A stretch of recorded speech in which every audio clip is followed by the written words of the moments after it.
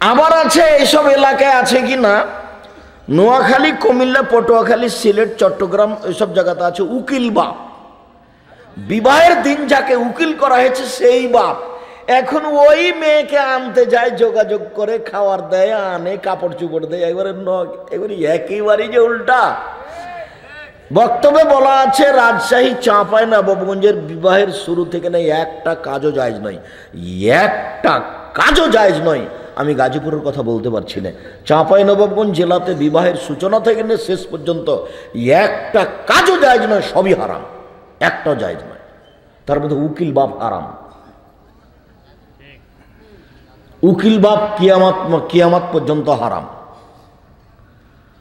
ওর বাপই তো বেঁচে আছে দে ওর উকিল বাপ কোথা থেকে আসলো? তোর বাপ বেঁচে নেই, তোর দাদা আছে, ওর দাদা নেই, তোর চাচা আছে।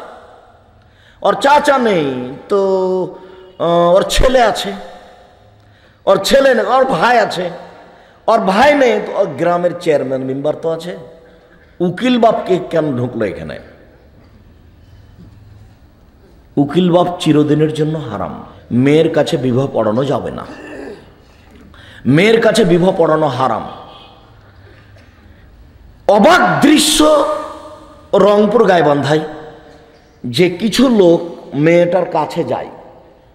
মেয়েটার কাছে গিয়ে বলে, অমুক নিবাসী, অমুক, এত টাকা নগদ, এত টাকা বাকিতে, তোমাকে বিবাহ করতে এসেছে, তুমি তাকে স্বামী সত্ত্বে কবুল করো। তখন মেয়েটাকে তিনবার কবুল করে নিয়েছে এই লোকগুলি, এরা আবার থাকে দশ বারো জন, পনেরো জন, চেংড়া, ছুল্লু, সবাই যায় ওখানে।